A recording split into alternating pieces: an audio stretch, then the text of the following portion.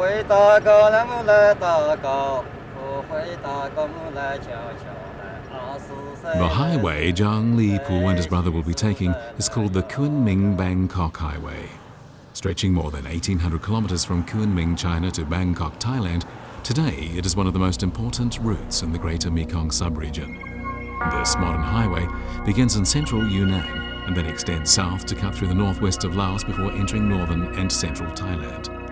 It is, in fact, the first expressway built that runs right through the Greater Mekong subregion.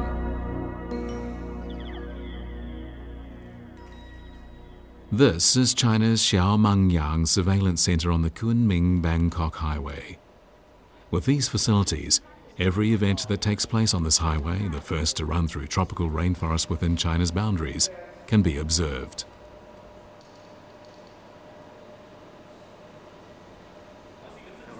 A 37 kilometer long section of the highway runs along the edge of the Xishuangbanna Natural Reserve, the site of the best preserved rainforest along the Tropic of Cancer. Achieving a balance between development and preservation is an important challenge faced by all the nations along the Lancang Mekong River Basin, and naturally, it is a challenge they are doing their utmost to meet. This portion of the highway is a fine example of what can be achieved in the coordination of transportation development and the preservation of nature.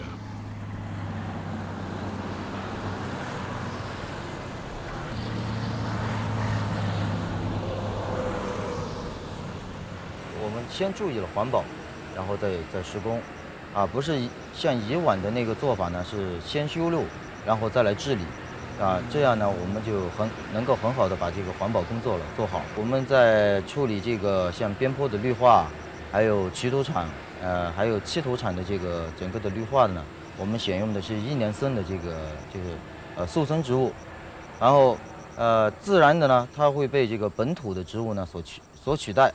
呃，避免了这个外来物种的侵害。 This portion of the highway also runs through China's Wild Elephant Valley, an important habitat for the Asian elephant. Along the road, dozens of signs in both English and Chinese warn passageway for wild elephants, no honking. Drivers are expected not to disturb any giants of the jungle that may happen to pass underneath the highway. To preserve a passageway for migrating elephants, Chinese highway construction workers built special elephant tunnels and bridges so the elephants would not have to contend with highway traffic.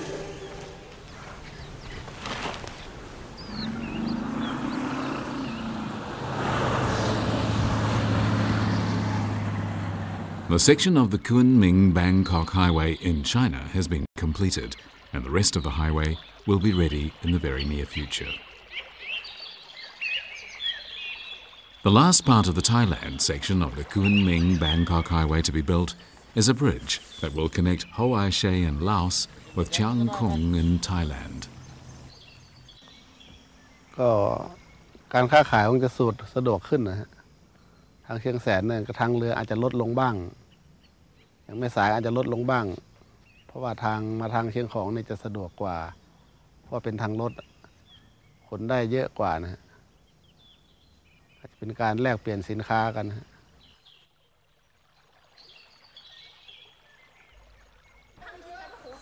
At present, goods from China transported by ship along the Mekong River have to be unloaded in Chiang Saen, then distributed to other places by trucks along the Kunming Bangkok Highway in Thailand. This is the case with this truckload of apples which will appear in markets in Bangkok tomorrow. However, once the highway is complete, it will take just 20 hours to travel from Kunming to Bangkok.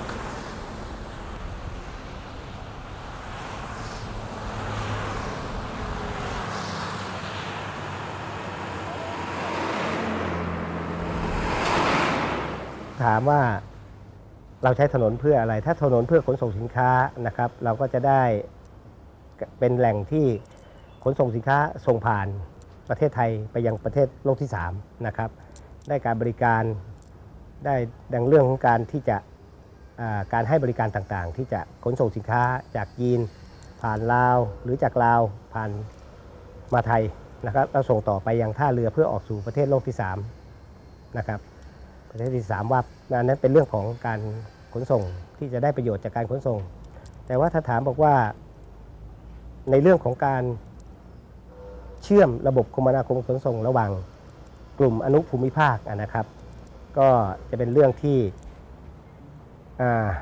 เกิดความสะดวกเพิ่มขึ้นนะครับ The Kunming Bangkok Highway has laid a solid foundation for the construction of a land transportation network that will eventually cover the entire Greater Mekong subregion. Presently, construction of a highway from Nanning, China to Hanoi, Vietnam is underway. The demand for ease of contact and efficient exchange of commodities is much stronger in the 21st century than in the past, and cooperation among the nations in the Lancang Mekong River Basin has intensified. To make it easy for commodities and personnel to flow among nations of the sub-region, increase economic efficiency, improve the lives of the people and advance trade and tourism in the nation's economies, Cambodia, China, Laos, Myanmar, Thailand and Vietnam signed the agreement for the facilitation of cross-border transport of goods and people in the Greater Mekong sub-region. The agreement marks the completion of a legal framework for this important endeavour.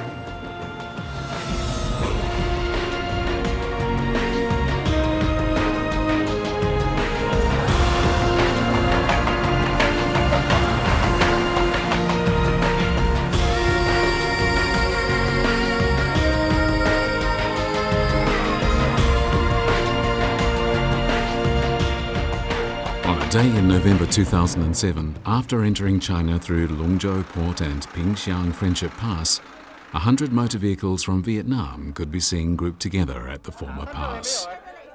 没有没有没有。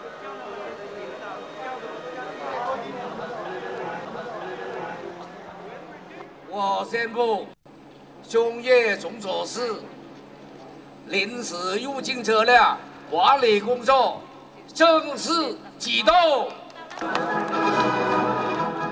with this agreement coming into force between China and Vietnam, a key step forward has been made towards achieving the objective of no obstacle transportation in the China ASEAN Free Trade Zone. After the ceremony, the Vietnamese drivers received temporary licenses from the relevant Chinese department that enable them to travel at will anywhere inside the prescribed area. With the initiation of this joint control of vehicle entry arrangement, goods from one country no longer need to switch vehicles to enter the other.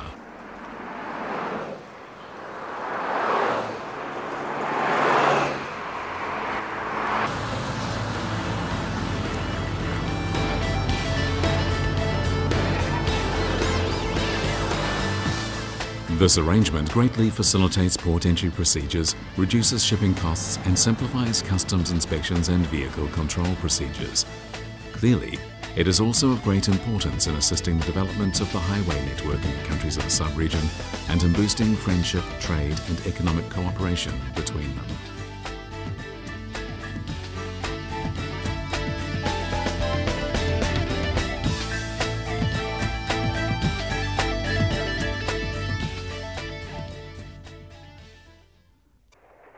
Cooperation in matters pertaining to railway transportation is also progressing rapidly. In November 2006, 18 Asian countries, China included, signed the Intergovernmental Agreement on the Trans-Asian Railway Network. The Trans-Asian Railway Network is a unified system for cargo transportation between the Asian and European continents. After the railways in the 18 countries are connected, land transportation capacity will be increased considerably. In the 19th century, the French designed and built the Vietnam Yunnan International Railway as a means of establishing a passageway from Indochina to China's interior. This railway, the first attempt to open a major transportation route in the area, runs along the edges of the sub-region from Kunming, China to Haiphong, Vietnam, and it is 854 kilometers long. However, the construction of this railway cost the lives of many Chinese laborers.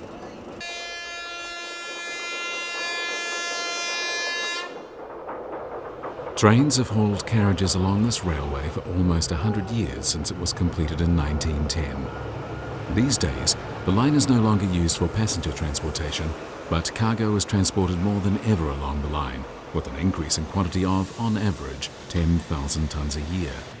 Every year, through this railway, China exports more than 200 varieties of goods to Vietnam and imports from the country more than 100 types of goods. As this railway is currently the only international railway connecting China and Southeast Asia, it is a highly strategic one.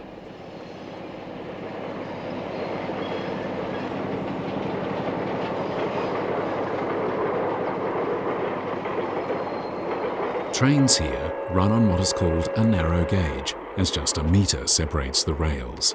Many countries in the Lancang Mekong River Basin use this narrow gauge system as it makes crossing the many rivers and mountain ranges more feasible. The narrow gauge railway is ideal for the topography of the subregion as it requires less work to build. Even today, in this era of high speed trains, narrow gauge railways still play a vital role. Among all the nations in the subregion, Myanmar has the longest history of using narrow gauge railways. Railways in Myanmar have extended outwards from the first one built in 1877 to cover the entire country, and they create a vital lifeline for the nation. Myanmar's railway system is really like a railway museum. Early in the morning, sunshine penetrates the thin fog to greet travellers. In Myanmar, railway lines extend to every township, and so trains have become the ideal means for travellers to commute to work, visit friends and relatives, or do business. "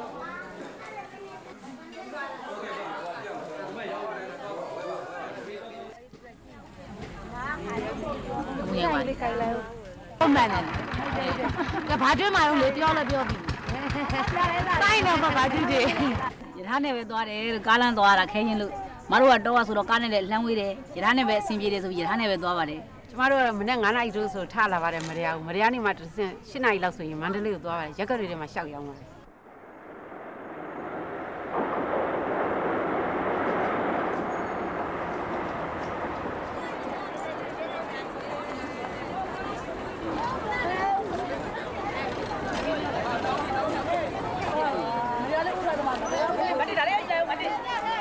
For these passengers, entering the station and boarding the train is a familiar and easy procedure. This line provides a short distance service so that its passengers, many of whom are engaged in small businesses elsewhere, can get on and off along the line at will. The carriages are designed to be functional, allowing plenty of space for carry-on luggage. And importantly, no one stands at the entrance blocking the way to check tickets. People are free to walk in and walk out. All the ticket checking is done on board the train only after the journey begins. To people in Myanmar, short distance services such as this work in much the same way as bus services elsewhere.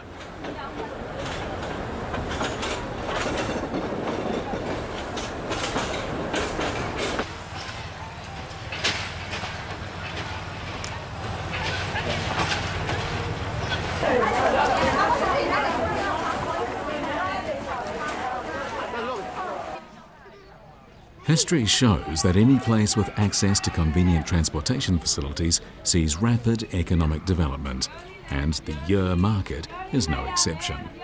Because of the convenient railway transportation, many people from further down the line come here to do business.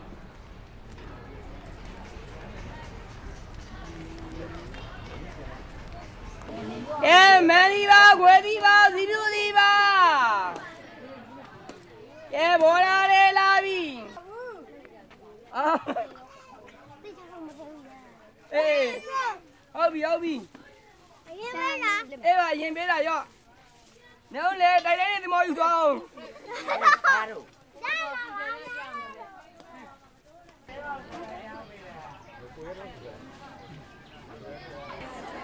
When one boards the train, one can see the peaceful life of the people of Myanmar.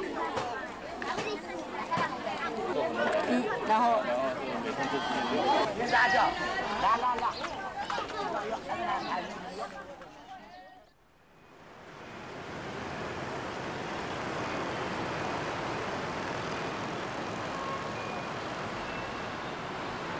city of Mandalay by the Ayeyarwady River in the central part of Myanmar is the country's second largest city.